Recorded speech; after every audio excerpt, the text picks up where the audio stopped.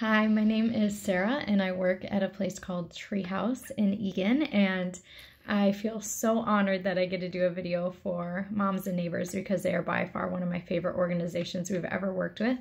Um, they do so much for all the teens that we work with, and they just come through it like the last minute when someone really needs it. So, my quick story I wanted to share was we had a mom right when the virus hit. Um, right before that, she had lost her job and was in the midst of starting her new job, but because of the virus, they kept pushing back the start date. And so, with four kids, um, four teenage boys to be exact, she was kind of in a panic of how do I pay my rent and how do I feed these four boys who are teenagers and eat so much. And moms and neighbors came through and paid for her rent.